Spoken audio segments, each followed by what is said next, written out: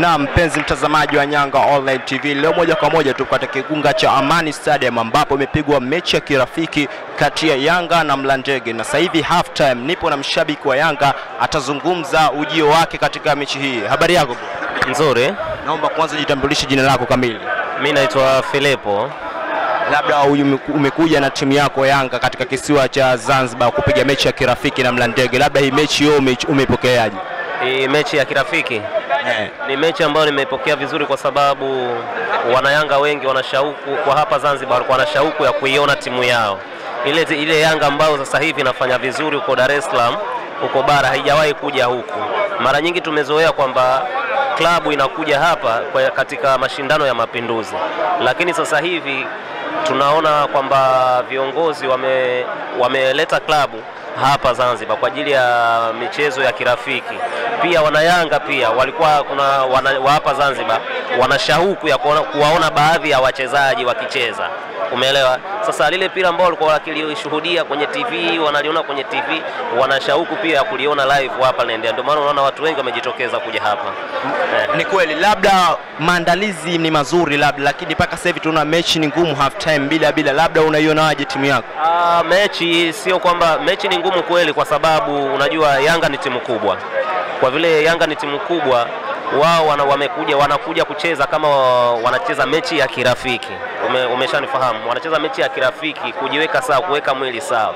Lakini kama walivyokuja walivyo Mlandege, Mlandege wao wanachukulia kama wanavyocheza, hawachukulia hapa kama ni mechi ya kirafiki, wanachukulia wao kama mechi ya fainali. Kwao ni fainali, ndio maana unaona mechi imekuwa ngumu namna hii, wanapiga kazi kazi kazi kweli, na ndio burudani tunaiona, na mpaka sasa hivi unaona kabisa Mlandege wanacheza vizuri, na hiyo ndio programu ya mwalimu. Mwalimu anataka zaidi mechi za kirafiki. Kila klabu itakapokuwa inakwenda mapumziko, kukuwa na mapumziko ya mechi za ligi kuu, mwalimu pia ameomba kwamba ziwe au anafanya au anapewa mechi za kirafiki. Kwake yeye ni, ni vizuri sana, kwa sababu yeye ndo mwalimu. Angekuwa naona kwamba hakuna uhitaji wa mechi za kirafiki angestop, lakini yeye mwenyewe ameona kwamba kuna uhitaji wa mechi za kirafiki, ndio maana anaomba mechi za kirafiki.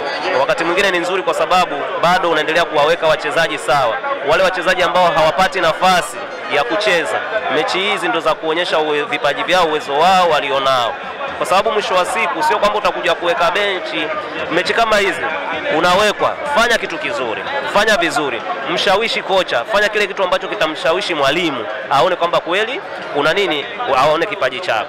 Lakini sasa kama utawekwa katika mechi kama hizi na unashindwa kufanya kile ambacho kitamridhisha mwalimu, basi ukiwekwa benchi hakuna lawama, huna wa kumlaumu.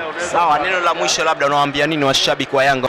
tuendelee kuisapoti timu yetu, tuipende timu yetu, sawa, kwa sababu pia tuendelee kuwasapoti wadhamini wetu ambao ni chapa brandi kubwa ya GSM.